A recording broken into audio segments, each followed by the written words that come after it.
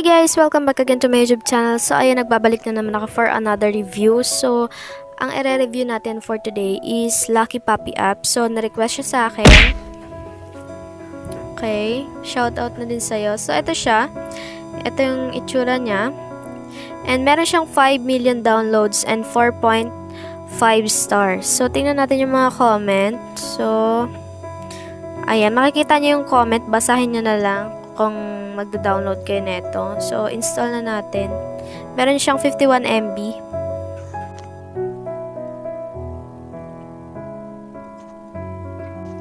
So, ayan guys, na-install na, na, na natin siya. Then, punta na tayo sa uh, apps na to.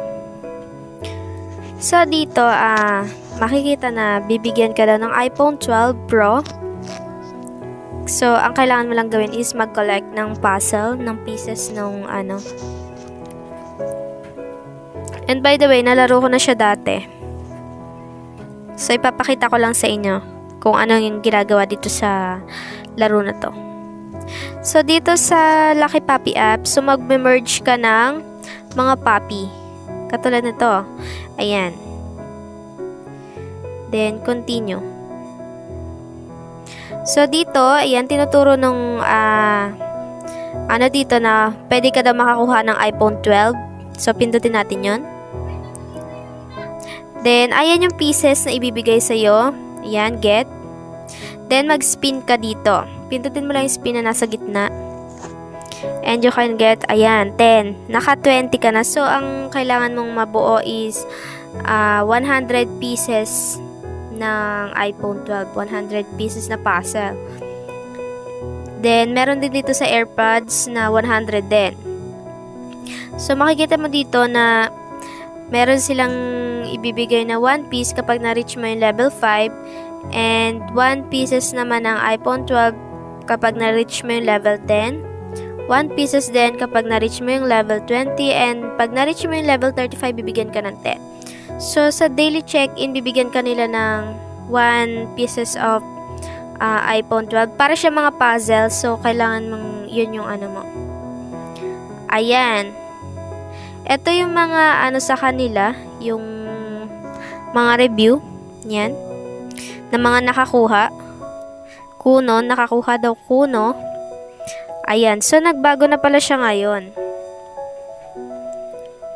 Ayan, meron din nakapag-cash out. So, dito sa Lucky Puppy, pwede ka din makakuha ng makapag-cash out daw ng pera. Ayan. At kapag, ano, kailangan mo ding, pag pinindot mo ulit to, to get one chance, is may lalabas dyan na ads, tapos bibigyan ka ng another spin. Okay, receive award, tapos bibigyan ka din nila ng daily login. So, itong green money na to, hindi siya totoong pera. Parang ano lang siya, pambili mo ng mga puppy. So, ang gagawin mo lang dyan is, mag, pagsasamahin mo lang yung magkakaparehas. Ayan. Tapos, meron din ditong gift. Pag pinindot mo yung gift na nandito, ayan, upgrade to level 2. Kapag pinindot mo tong upgrade to level 2, may lalabas dyan na ads. So, madami silang pinapakitang ads dito. So, ayan. And meron ditong $673. Ayan. Bagong up update na pala na itong apps na to. Eh. Ayan. Pag pinindot mo yun, claim. Oh, in order to claim, di okay, pag linay mo to, in order to claim dividends, you must own 5 unicorns. So, kailangan mo pa daw mag-own ng 5 unicorns. Ayan. Then, okay, so, maglaro muna tayo.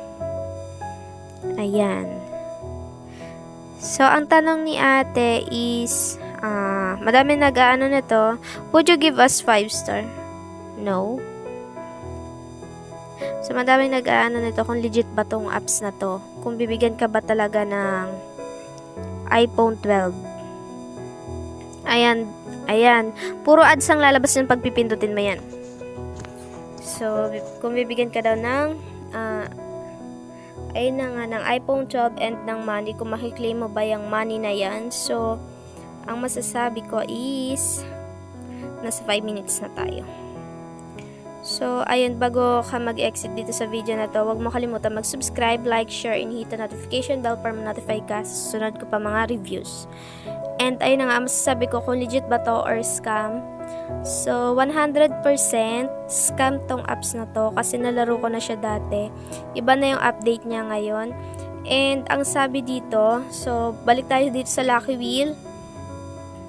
Diyan, dito sa iPhone 12, so 100 pieces ang kailangan mong ma-reach dyan. Ang, ang mabibigay lang nila na pieces sa'yo is 93. 93 pieces, so kulang ka pa ng 7.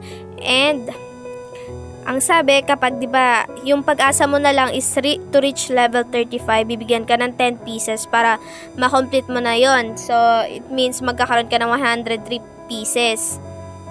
And pwede mo na siya ma-redeem yung iPhone 12. Kaso nga lang, itong mahirap siyang ma-reach yung level 35. So, abutin ka pa ng taon bago ma-reach yun. Kasi ako, uh, nilala- nilaro ko siya ng nilaro, ng nilaro, ng nilaro.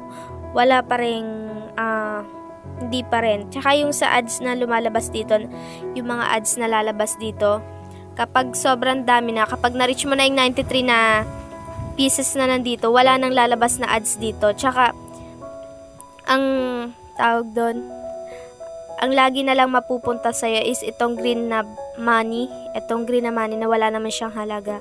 And hindi na siya mapupunta dito sa mga iPhone 12 pieces. So, ayun, scam tong apps na to. Nalaro ko na siya since 2020. And tuwang-tuwa nga ako kasi akala ko mabibigyan ako ng iPhone 12 and ng money. So, hindi siya totoo. Huwag niyo nang pag-aksayan ng panahon tong apps na to. Okay, so ayun na nga.